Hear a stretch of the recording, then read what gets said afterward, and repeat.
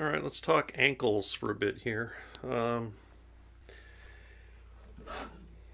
here's an ankle that I had almost ready to paint, and it's been bugging me ever since I made it because I printed it using this file from the Michael Baddeley Mark III files. This is the standard ankle as opposed to the long, which um, can support R2D2 being in two foot mode and three foot mode. This is just the standard, just for three foot mode only. It has built in supports, right? Because it prints in this direction. All of R2D2's weight is pretty much put on the ankles, the pin that goes through here. Because his body's off the ground, it's got the batteries in it, the electronics, everything is in it and then that weight goes into the shoulder hubs, down the legs, and to the ankles through this hole. Do not print your ankles in this orientation. Uh, like Michael Baddeley likes to say, think of the layer lines as wood grain. So you print it in this orientation, it's printing like this, and it's going to make that piece snap off because it's weak. It's got a joint going this way. So this is the preferred way to print it, which is why he has this file. Like I said, it's got a built-in, this is not from my slicer, this is built-in support that prints up to here. Okay, so here's the finished one, right? And then it also, because it's printing in this orientation, that's too big of a span for most printers to make without the filament sagging. So it's got built-in support in here, in the file, not created by the printer. Now, you can probably see where I'm going with this. This did not properly stick to the support. There's a gap in there. Now, this is the one that I have almost ready for painting, and it is an even bigger gap. I'm not going to, because I'm filming this with one hand on the phone, I'm not going to put a block of wood in there, but if I put a block of wood in there, you'd see that's, that's quite a fair-sized opening. I was just going to fill it with epoxy and call it good, because my droid is not going to be driving around that much, so I'm sure it's probably fine. But it's one of those things where I'm it's been bugging me. It's like, well, is it fine? Should I reprint it? Should I not? The main reason not to is because these really need to be strong.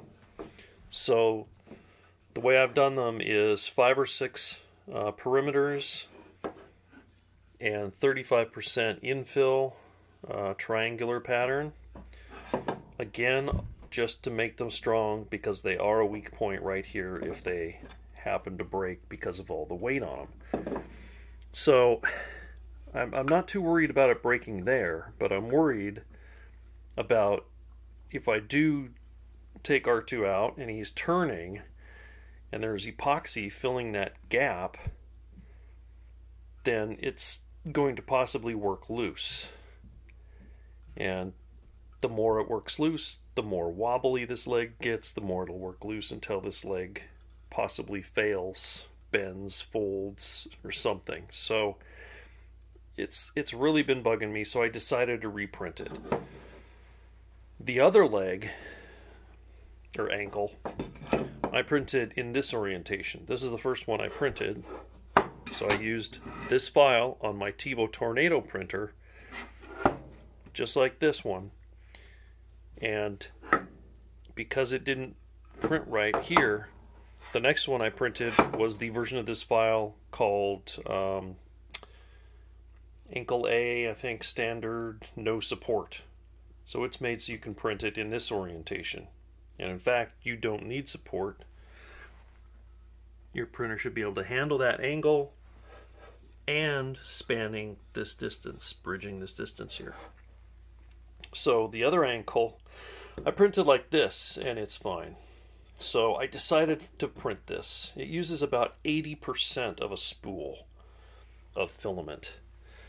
And like an idiot, I just started it up, let it go, started watching it when I got to this point, and then once I it got to here and I saw and I'm like, okay, it doesn't look as bad as the other one, but it's still not right. I decided to stop it. Now this was, ooh, I didn't write it down, but this could have been like 20 hours of printing, right? Um, I'm printing, when I first printed them, this one here and the other one, I printed them in uh, 0.3 resolution. So this curved piece took a bit of finishing to get smooth because of the stair stepping because the resolution wasn't that great. So I decided to print reprint in 0.2 resolution, which I don't know if you can see, but it's you know a couple ghosting lines where there's changes of the print. But other than that, it's it was printing really nice. Not a lot of finishing. But what I should have done, and I recommend anyone do, first of all, watch his video. Go to YouTube and look for um, Michael Baddeley R2D2 videos. He's got some videos describing the legs and the body and assembly, and there's some tips in there that aren't in the documentation. He mentioned something about the ankles being made for, I swear it said 0.2 resolution which is why I just went ahead on my Prusa because my Prusa bridges better than the Tevo Tornado did.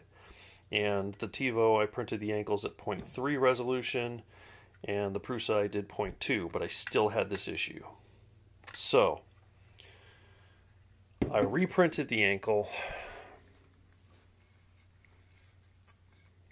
See there in this orientation.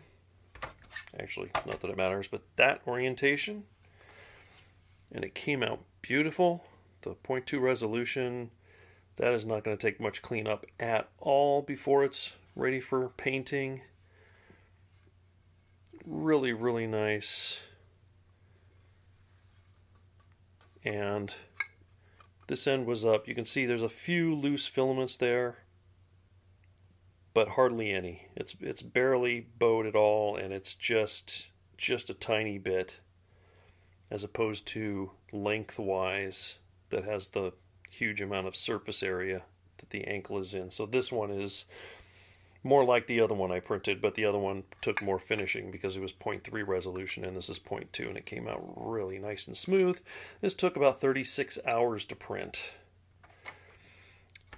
Um, so, if you're going to print this, here's what I would recommend.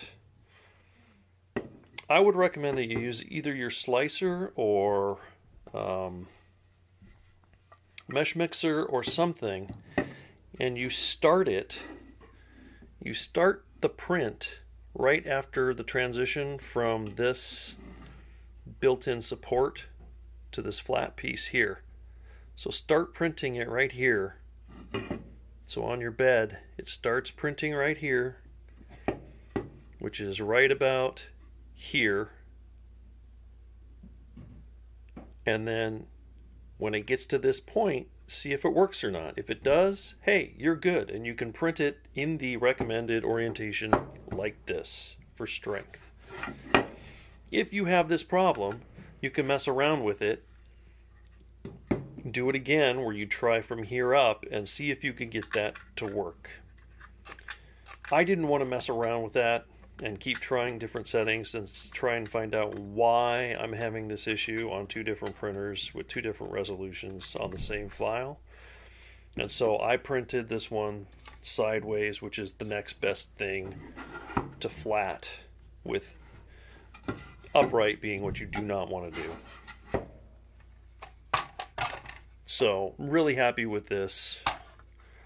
Unfortunately, because this is like 80% of a spool of filament, I mean, that's got to be like almost $18 in filament. This is, you know, probably $14 in filament, and here's another $18 in filament. So it, it's just crazy the amount of money for one ankle. So that's why I'm saying this takes so much filament. Just try printing just the area from the support up to where it bridges it and then a little bit beyond to see if it's working rather than wasting all of this filament if your printer's not going to be able to print that properly unless you're prepared to shove epoxy in there once you've got the leg glued to the ankle and call it good.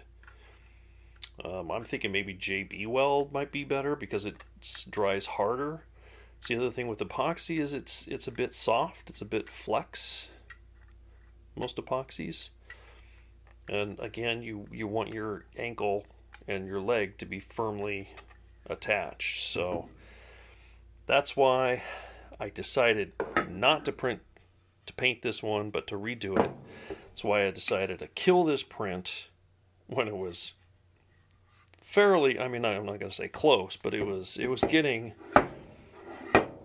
It was past the halfway point, definitely, and decided to print again like this. Now, of course, at this point, I've used up all of my white filament, well, maybe 5% left on a spool because I'd used it for something else too.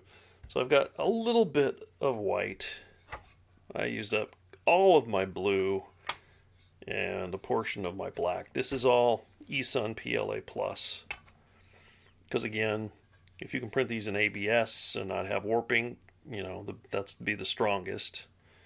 Um, PETG, which I cannot print without warping. Um, that would be next best, and then PLA plus, and then regular PLA. About the only thing on this file that looks like it's going to take any finishing, and it's hardly anything, is right there. That upper left corner lifted up a tiny bit from the bed, so a little bit of filler material there. And then just probably a little bit of sanding. A coat of primer. And then maybe fixing a few areas like that one back there. And maybe here because this is the top side. So the areas around those indentations might have a few little holes that could be or gaps that could be filled but yeah I'm happy I did this just to get it off my mind that it's a possible weak spot, but I'm also ticked off that I wasted this much filament.